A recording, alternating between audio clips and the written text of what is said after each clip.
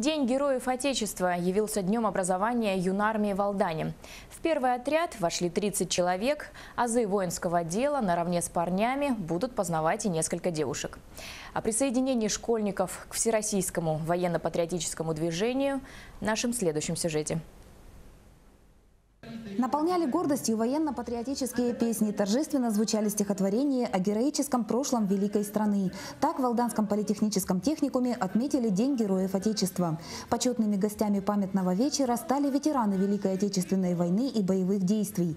Администрация Алданского района совместно с горнорудной компанией «Алдан Золото» в знак уважения вручили ветеранам подарки. День Героев Отечества станет глубоко личным праздником для каждого из 30 школьников. В этот день они получили почетное звание юных армейцев. Старшеклассники изъявили волю верно служить Отечеству согласно прежде всего личных убеждений. Однозначно на добровольной основе. И самый гла- главный критерий у нас был, чтобы ребята сдали нормы ГТО не ниже там, ну, хорошо. Вновь образованный отряд юных армейцев в Алданском районе стал первым. Всероссийское военно-патриотическое движение призвано возродить старые добрые традиции детских и молодежных организаций. Создание юнармии преследует единственную цель – подготовку будущих защитников Отечества к прохождению воинской службы.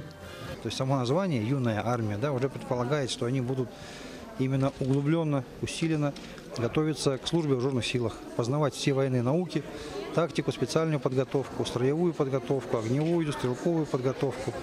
В знак вступления в славные ряды юнармии будущие защитники Отечества надели погоны. Служба предполагает воспитание силы и выносливости, оттачивание физических навыков и боевой подготовки. Обучение будет проводиться в пяти точках. К приему первых юнармейцев места службы готовы. Татьяна Вахнина, Сергей Шипачев, Дмитрий Заливин, НВК «Саха», Алдан.